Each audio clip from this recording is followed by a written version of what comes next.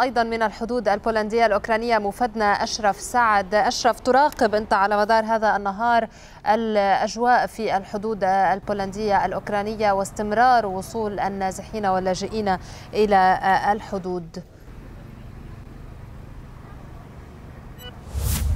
بالفعل وهذا المكان الذي نقف فيه الآن هو مكان مخصص للاجئين بعد وصولهم إلى هنا.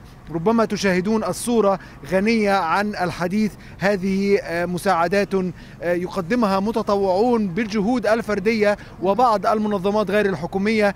يأتي اللاجئون إلى هنا للحصول على ما يستطيعون حمله من مساعدات لمواجهة الأوضاع السيئة. يعني ملابس ربما أطعمة بعض حفاضات الأطفال بعض المأكولات. الأجواء قاسية البرودة هنا في بولندا وبالطبع هم جاءوا وليس معهم الكثير مما يعينهم على مشقة هذه الأجواء الصعبة. قال لنا بعضهم إنه كان يحمل حقائب ثقيلة فاضطر لتركها على الحدود لكي يستطيع المضي قدما في الرحلة. يعني هذه المنطقة في قلب مدينة شيميشيل الحدودية على الحدود بين بولندا وأوكرانيا. وهذه المدينة بالمناسبة صغيرة للغاية وليس فيها الكثير مما يتسع لكل هؤلاء اللاجئين.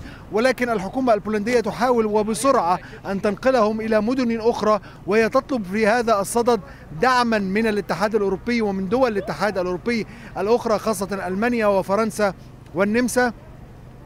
لأن هؤلاء لم يكن من المتوقع لهم أن يأتوا إلى هنا ودخلوا حدود الاتحاد الأوروبي وبالتالي بالتالي صاروا مسؤولية على القارة العجوز كلها عليها أن تتحرك بسرعة لمواجهة هذه الأزمة. وكما ذكر أنس الأعداد قد تصل إلى مليون مما يعني أننا على مشارف أزمة مشابهة لتلك التي شهدتها القارة الأوروبية عام 2015 إبان الحرب السورية.